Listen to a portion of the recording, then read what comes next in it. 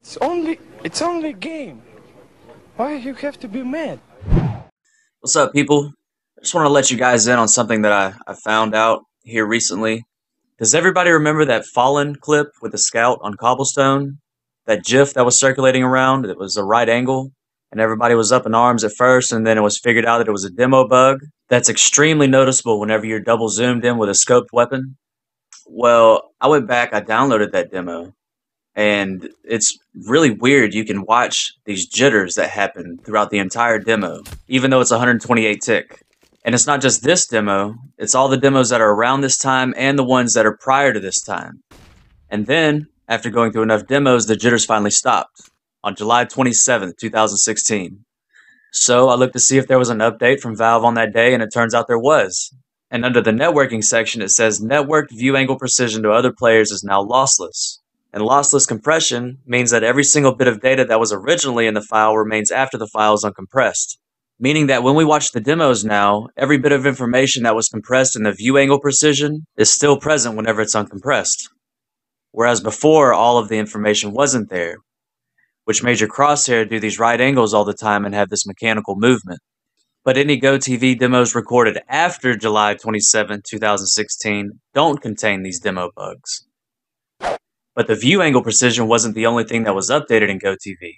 There was also an update to a new smooth and lossless technology in late March of 2016, providing the best GoTV experience ever, quote unquote. GoTV was also updated a while back to reliably record and broadcast the player's view angles on the ticks when their weapons fired. I'm about to show you a comparison of a GoTV demo and a POV recording, but I need you to understand that the interpolation's turned off on the GoTV demo and I turn the interpolation off because we don't want any predicted ticks in what we're trying to see. And interpolation is something on the client side that adds an artificial latency to the player's worldview to kind of smooth everything out. But since there's no server side lag compensation in the demo, you don't need to have the client side interpolation turned on. It also turns off the weapon's recoil animation, the inspection animation, and the reload animation, and is also going to make the ducking animation a little more dramatic. But you should see an accurate representation of everything else. As far as 128 tick GoTV demos on a local server is concerned. On the left is going to be a GoTV demo with the interpolation turned off. And on the right is a point of view recording recorded with Shadowplay.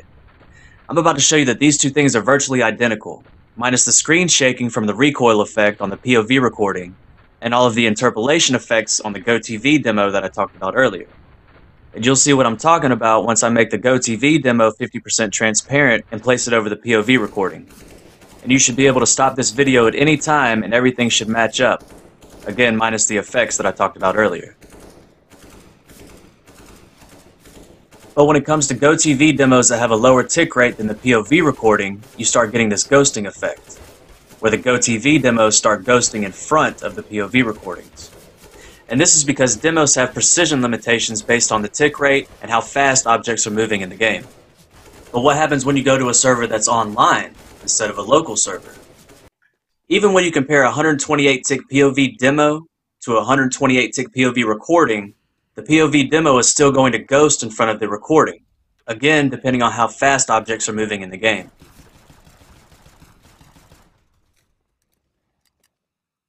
And if you were to watch the same thing in a lower tick rate demo, you're going to see the ghosting effects are more exaggerated. But the one thing that always syncs up is the crosshair.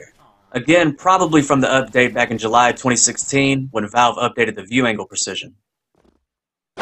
So why exactly is this happening? I have no clue.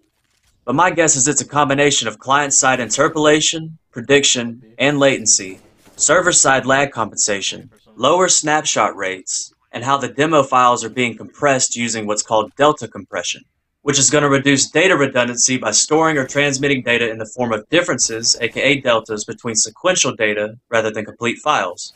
So, online GoTV demos are going to have a ghosting effect in front of the actual POV because the snapshots being recorded are also being differentiated by the delta compression to give you what you see. And the fewer snapshots that are taken, the more dramatic the ghosting effect is going to be but that doesn't mean that the players around the map and the things around the map aren't in the right spot.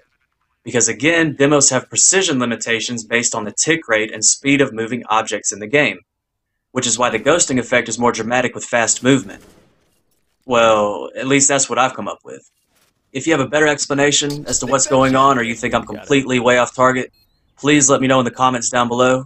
And if you like this video, please give it a thumbs up and consider sharing it with somebody.